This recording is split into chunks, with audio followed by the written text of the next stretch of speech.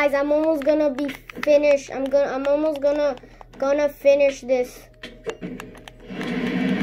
Until I get my this. Let's go, bro. Let's go, let's go, let's go.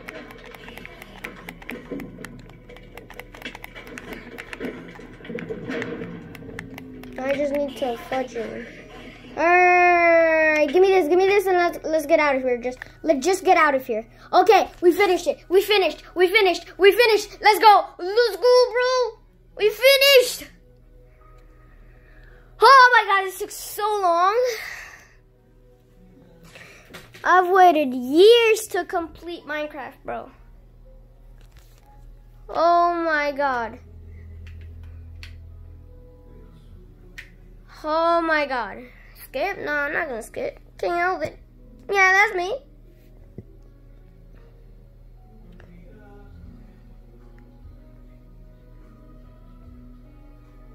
That doesn't matter. It thinks we are a part of the game. Huh? What the heck you meaning? I like this player. It played well. It did not give up. Yeah, I did not give up. It's reading our thoughts as though we are words on a screen. That is how it chooses to imagine anything. It's deep in the dream of a game. Words make a wonderful interface, very flexible and less terrifying than staring at the reality behind the screen. They used to hear voices before the players could read back in the days when those did not players called players witches and were okay. What did this player dream? This player dreamed of sunlight and trees, of fire and water.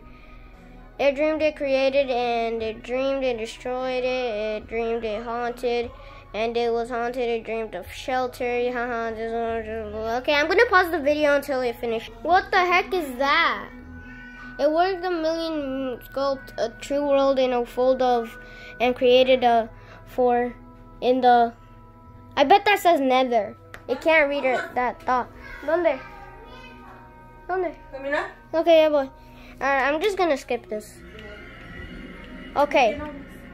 Not again. Okay. I ended it. I ended, guys. I ended it. Yeah, boy. Guys, I ended it. This might be the end of the video. I ended it. Alright, bye guys.